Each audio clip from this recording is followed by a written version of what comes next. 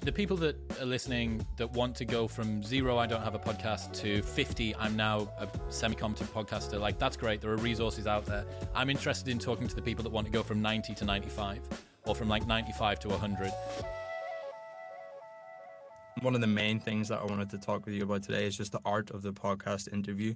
Um, because I think you have a lot of value to add there based on what you said in terms of the energy and the time that you're devoting. You know, you're hiring coaches, you're thinking about this stuff constantly. How can I continually improve and not cringe when I listen back? You know, it might be the case that you always cringe when you listen back mm-hmm. to your old interviews, and that's a good thing because it shows that you're continually improving.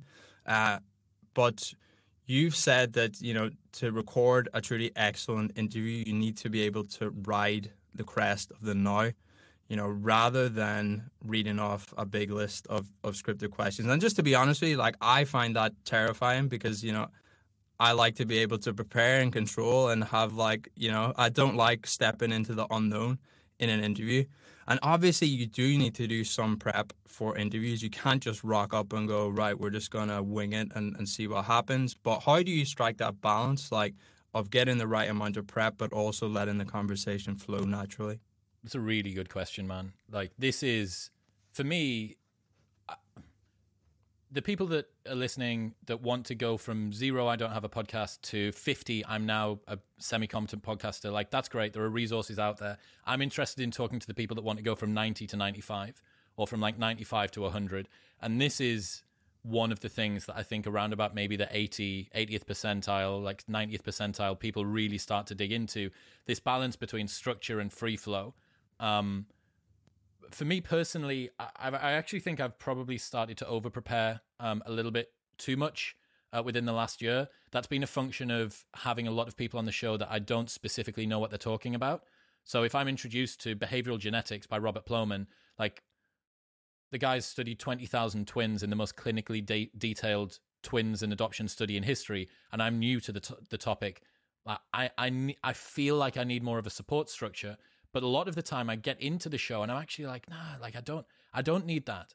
I don't actually need it. Um, so I'm, I went through a, because it was constant three episodes a week, most of them about books, a lot of those about scientific communication on a huge variety of topics with very little crossover. Um, it, I basically had a lot of the time like a day and a half to learn an entire body of work. So with that, I I felt like I needed more of a support structure. I'm actually now dialing that back and I'm purposefully uh, reducing the amount of notes that I take into an episode, and I am just going to find whatever's optimal for me with that. But yeah, I think overall, you know, if you are in, if you're a competent podcaster and you're looking to really sort of double this down, just play around with it. The same ways you might play around with different tactics in a sports game. And I often think of it like this like, no sports team in history has gone out on the field without a uh, some plays in their pocket, but a lot more teams are able to free flow than others. And just because this game today maybe ended up, you know, maybe you didn't perform quite so well, but maybe that's because you tried to stick to a really rigid set of rules and then you learn from it and you're like, okay, that's too much. That's way mm. too much. Like I'm trying to read read all of these questions off. Or yeah. you do the converse and you're like, I didn't know what I was talking about and I got lost and I floundered around. like that's also that's that's not enough and you find your sweet spot between it. Um, my number one piece of advice, really, I, I still now I hate the intro to a podcast. It's always weird. It's always awkward, especially if you record a pre-recorded pre-roll. So if you do the foreplay for the episode off camera, and then you meet the guest and you spend five minutes with them, going like, "Hey, mate."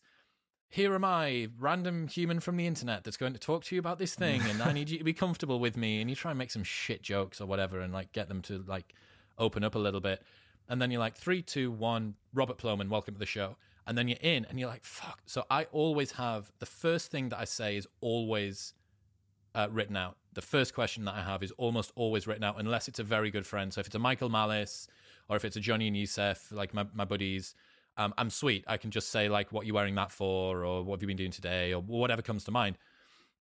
But just getting yourself into that um, is a good part of conversation craft. I would also I think it's a good idea to give the guest room to breathe. So, and this is something that I've only learned since being a guest on more shows. That um, have you ever seen someone do a a, a 2K time trial on a ski erg, uh, on a, a rowing a rowing erg, So the way that they actually start the momentum off is they do a bunch of little fast strokes. So they like pull, pull, pull, pull, pull, pull. Like it's like this sort of cadence where they build up to the long ones. And I actually think that, you know, a couple of kind of like dumb back and forth questions and then a big fat one that the guest can sink their teeth into about two minutes in, like let them speak, let them stop, let them speak, let them stop, and then just let them go with like, so Robert, eh, eh, let's say that no one's somebody that's listening has never heard of behavioral genetics before. Like, how do you describe what behavioral genetics is? It doesn't have to be that basic. It can still it can be something really complex. That's a really like kind of a bit of a cringe like opener because it's just so obvious. But just give the guest like something because they're nervous as well, and even if they're super confident, they just you just want to get them into the flow. My vocal coach told me about this. You know, you want to get their larynx moving up and down. You want to get their facial muscles moving nicely and that's when, after a little while, you can get like bang, bang, bang, bang, bang, bang. Like you can start to move more quickly backward and forward. But you don't want to do that straight off the bat, I don't think. Um, so yeah, that's that's some things, man. Like bit of structure, work out what works for you. Give the guest like something easy to get started on. Maybe have a little bit of a back and forth in the beginning and then just give them room to breathe. And then you can start to come back in. And mm. then you mm. can start to have a discussion.